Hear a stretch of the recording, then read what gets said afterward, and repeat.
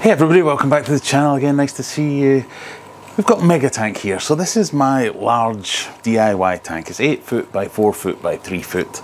It's a big old tank for big old fish, and that's exactly what you would expect to see in here. So in the last video I talked about getting some discus going, but I also got some other new fish. And ultimately I want to get them in here, but they're just a little bit on the small side to go in here. So I wanted to talk about some of the things I do to get my fish to grow better. So in this tank I've got some of the baby fish that I got in the last fish order, specifically three peacock bass, which are down here and are becoming more and more interactive. They're not hiding, they're not shy, they don't run away when I come up to the tank like this so I can move around. They're quite into it, which is really good for getting fish to feed because if they're shy and hiding all the time, that's your first problem. So I'm really happy that they're not like that. And the other fish that I've got is the Emperor Snakehead, which again is a tiny version of what they will become. Um, I did have an Emperor Snakehead that was a bit of a rescue beforehand, and it was a good two and a half feet long. So as you can see that this is maybe, I don't know, three inches long, if that, it's got a long way to go. The peacock bass here, specifically they're Kelberi bass, which are one of the smaller ones. So some of the peacock bass you can get will get up to three feet long and things like this. These ones kind of top out around 12 to 18 inches. I think 18 inches is kind of the maximum you can expect, but in most home aquariums, 10 to 12 is what you get. I'm hoping because my tank is so big, I will get towards the 18 inch. Again, you can see here, they're like an inch and a half, two inches at most. So they've got some growing to do before they get here. The peacock bass is a fish that I've wanted for as long as I've had the Mega Tank. In fact, it was one of the fish that inspired me buying Mega Tank. I saw in a fish shop in Fishman Aquatics, which was one of the, the shops that I used to visit quite a lot, they had a Temensis bass, which is one of the big ones that get to like your three feet long. But it was just an awesome sight to see it. Uh, so colourful, so energetic, so vibrant, so aggressive these are mildly aggressive as far as peacock bass go, but the, the, way they take food and things like that and the way they move has just been something that's fascinated, fascinated me for ages. I've, I've had one which didn't do very well again, it was a rescue and lost that. But I wanted to get some peacock bass in there because that is, Megatank is the tank that can have that kind of fish in there. So we finally got them, we've got three of them. They're from the kind of Brazil um, region of the Amazon from slower moving tributaries. Um, so but that's one of the reasons that I like these ones is they don't get too massive so I can have three of them in there. Um, but like the snakehead that's tiny, I've got to get these guys growing on. And I wanted to talk about one of the things that you can apply to most fishes, about how to get them to grow well in your aquarium and whether or not it's a good idea as well. So, as far as I'm concerned, there's kind of two main factors to how you grow your fish the food that you feed and the environment you keep them in. So, in terms of food, I want to get something that's something that they can easily digest, that's really nutritious, that's high in protein. When you're growing, protein's the kind of main thing that you're looking for here, but also something that they can digest easily and get it through their system and extract all the nutrients out of it. If I was to get um, any fish onto any food, it would be this stuff here that I have. It's my um, soft Artemia. I've just poured all over the floor. Soft Artemia pellets. Um, it's kind of my number one go-to. I, I, do sell this on my website, so take that with a pinch of salt, but I think it is a fantastic food, and I want to get all my fish onto it. But it's not always the best food for all kinds of fish, so these fish are really small, they're not pellet trained, if that's a thing, so they might not take that. So what I've got to look at is they will grow faster the more food you can get into them. So what is something that they're going to take readily. So I'm using things like live foods. If I can get any live worms into them, so black worms, that kind of thing. I have a little culture of black worms. If I can feed them frozen foods like uh, brine shrimp, um, daphnia, any, any of those kind of things, if I can get them into them, they're usually a little bit more easily palatable to the fish. The live food is great because it kind of triggers that instinctual thing in them to feed on it. If they see a worm wiggling around, they'll go for it and attack. Um, frozen foods that kind of step down from that, where it is, it is once live, so it kind of retains that form, um, but it's a lot easier to get at. When they're really young, we're talking like fry stage, obviously the best thing in the world is baby brine shrimp or green water, that's what you want first stage. But when we're talking about this size, where they're still no longer really fry, but they're just very, very, very young juvenile fish, we want to move them on to something else. Um, like I say, I want to get them onto pellets for convenience. I'm a lazy, lazy fish keeper. I want to get something that doesn't take a lot of faff to feed. But to get them to that stage, I am going to go through the live foods, through the frozen foods, and see what I can get them onto pellet wise. When I talk about pellet training fish, I generally will get them something that they will eat readily, whether that is let's say frozen brine shrimp for instance, I'll feed some frozen brine shrimp at the same time throw in some pellets that I want them to go onto and they will associate that with being food because it's next to the thing they normally eat. They might accidentally eat a pellet and go, oh, it's not too bad. So that's kind of where I'm coming from. I'm trying to power feed them at this stage to get them to a, a decent enough size. I want to move them from this tank. I've got another four or five foot tank over there that will be the next stage before they go into the mega tank. And once they're into mega tank, they should be fully trained and eat all the things that I want them to eat. But if I am going to power feed them, there are some things I need to be aware of. Power feeding suggests feeding a lot, and that's essentially what it is. It's feeding a lot and it's feeding often. Um, what that means is I'm creating a higher bioload in the tank, which isn't necessarily the best water conditions. And that's the other thing you really need to be aware of when you're feeding fish heavily um, or trying to get them to grow at the best rate you can get them to grow at, they need pristine water conditions. These are things that you should be applying to all fish, but especially if you're going to go to the extreme and feed heavily, you need to go to the extreme in making sure that water is clean. And that's doing large and frequent water changes. It's making sure that if you are throwing food in there and even if they're eating it all and pooping it out you're getting everything out again and cleaning that water as much as possible. Ideally we would have the water as warm as the fish would be comfortable with because the raising of the temperature will raise the metabolism of the fish and help them process that food easier. But again you've really got to keep an eye on the parameters and get it clean because just making them process all that food adds to the bio load that might not be there if you were feeding them at a normal level. So you've just got to keep an eye on that.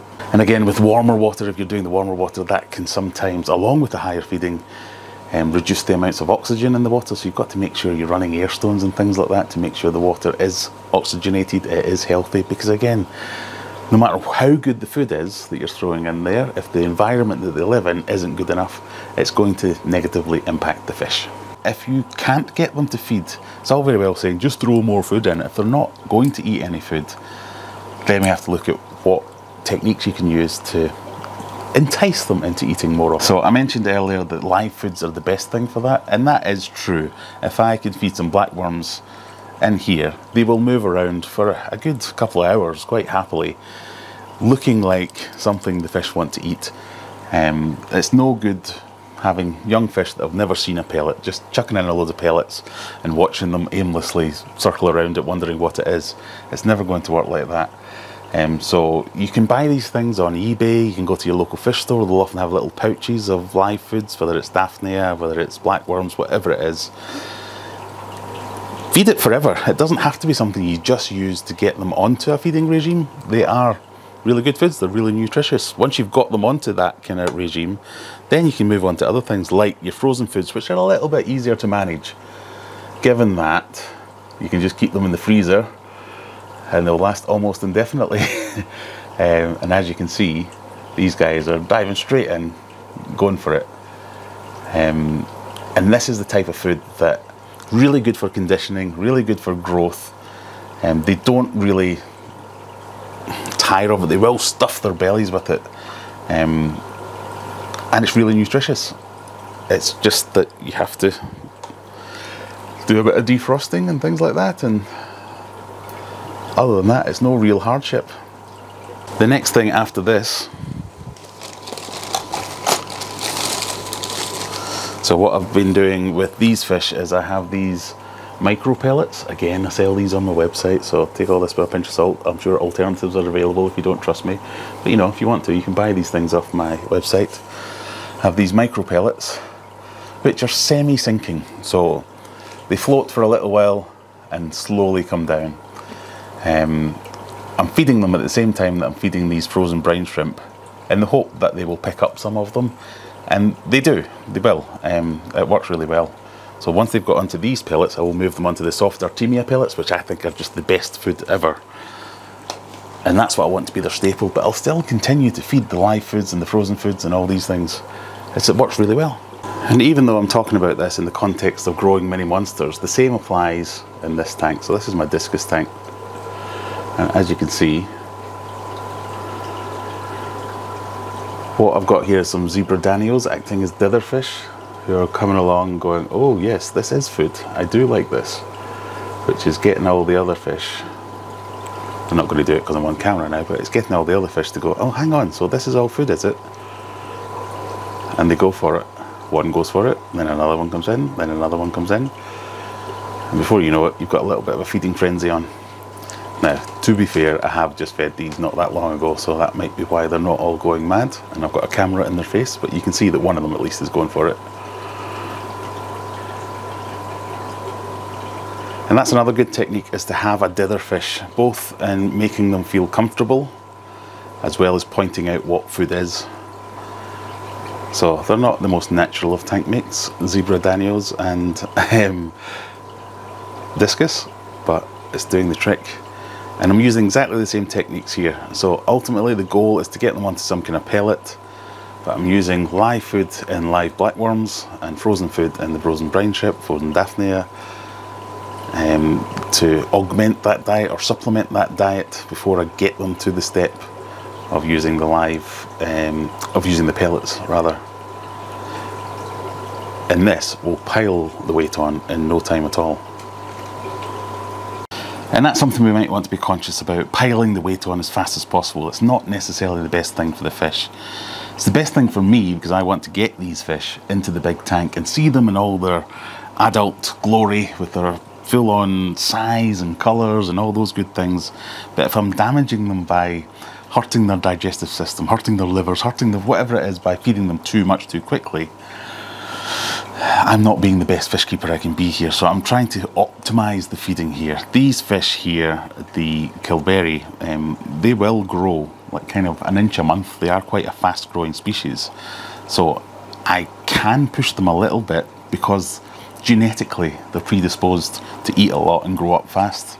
Whereas the discus are a little bit slower growing, so I don't really want to be power feeding them too much. I just want to be maintaining whatever the optimum is for whatever species of fish, maintaining that so as I get the best out of them rather than pushing them too far.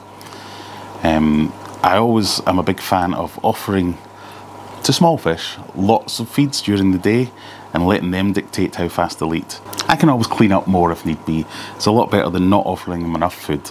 Um, they might decide they're not hungry at a certain time, and if I feed them then and don't feed them again later on, then that's me making the mistake where they're not ready to eat at the right time. So if I offer multiple chances for them to feed, I can figure them out as much as they can figure me out, knowing that I'm safe and I'm the guy that's coming to feed them. A few this time last week, me being this close to the tank, these fish would not be this. They'd be hiding behind the filter. They're starting to associate me with the the big shape that brings food. And that's all we want. Seeing the little fat bellies of these fish is exactly what we want to see. So watch this space. These tiny little monsters are going to be great big monsters in no time at all. Um, make sure you click that subscribe button so you follow along. You see these guys grow up. Hopefully we get all of these into Mega Tank and have a really cool mega tank. So if you want to see what happens over the years when we get these fish in here and see mega tank evolve into my dream fish tank, click that subscribe button that's down there. There's also every Friday night 9pm UK time we do a live stream. Come and join me there and ask me any questions. Sometimes we do a bit of a show and tell around the fish room. There's lots of things going on. We've got a discus project going on at the moment where we're trying to grow and breed some discus. So there's lots of things going on in the fish room. Um, so if you like it, click that subscribe button. Something like 60-70% of people who watch these videos aren't subscribed. So it really helps me out. Um, click the buttons and see you in the next one. Bye.